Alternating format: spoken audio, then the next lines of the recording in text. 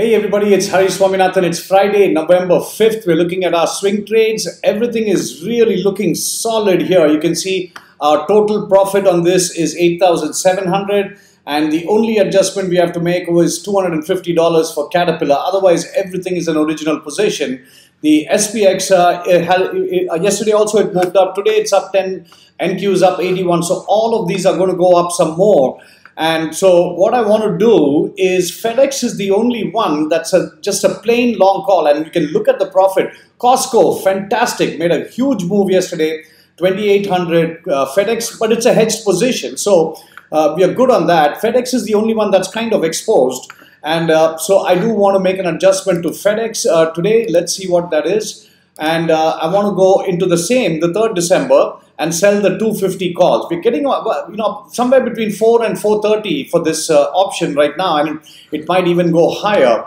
So basically, if you look at the long call, we paid 515. So it's uh, you know almost turns it into a free trade. Just uh, uh I think uh, it'll just be costing us a few cents or about 60 cents or 70 cents. So basically, I want to sell the 250. We'll have a $10 spread over here and um, and we can uh, continue to uh, milk this as long as it goes up. So FedEx was a good catch. Uh, I think it was it was beaten down and. Uh, uh, we caught it properly. Google, once again, uh, you know, great trade, 1750 here.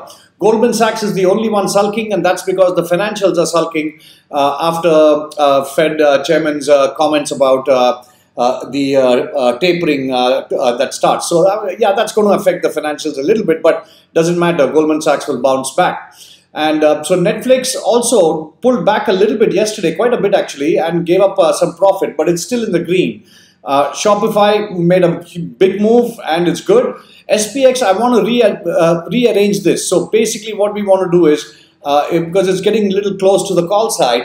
So and and, uh, and what I'm thinking is on SPX uh, we will even move it uh, to the next expiry, so which is the Wednesday. So if you look at if you look at it over here, uh, we have the Wednesday here, and uh, and of course we you know we'll be closing all of this. So basically, what I have is the 4650, 4645, and then the 4740, 4745, and this will be the Wednesday expiry. Once again, we're getting about um, what do you call uh, 160. So uh, that should be about 16% ROI there.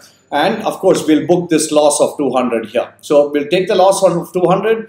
Uh, Tesla moved up nicely also, still should move up today. So no other adjustments except FedEx and SPX. And uh, being a Friday, we've got enough trades. So let's let these run. And I thought we'll take off some of these trades today, being a Friday.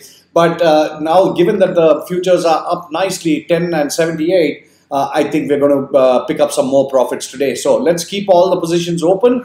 Uh, the only adjustment is FedEx and SPX and no new trade today. We'll take a look at everything on Monday and we'll uh, cycle through and cash in some of these profits then. Have a nice weekend, everyone. Thanks.